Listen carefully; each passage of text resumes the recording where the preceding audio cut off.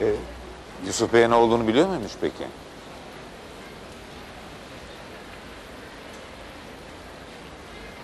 Babamı senin öldürdüğünü söylüyor.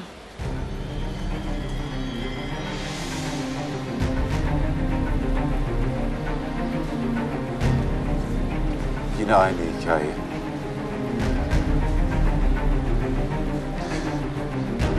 Evet babam bize çok zarar verdi. Kızımı, seni. Hayatımızı elimizden aldı. Ama ben babana zarar vermedim. Bu tehditlere daha önce de maruz kaldım. Ama içim rahat. Biliyorum. Bundan hiç şüphem olmadı. Fakat bu olup bitene bir anlam vermekte çok güçlük çekiyorum.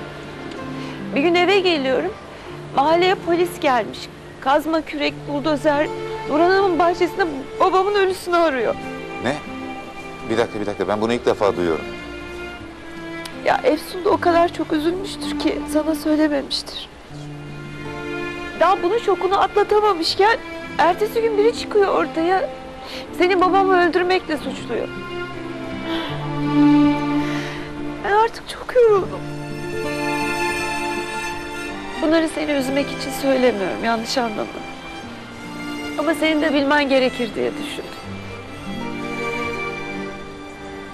Sağ ol, sağ ol. Bana inandığın için de sağ ol.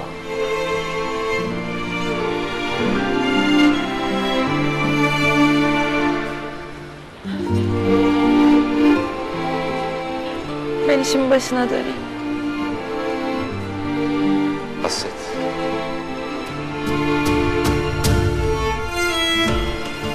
Yeter ki sen üzülme olur mu?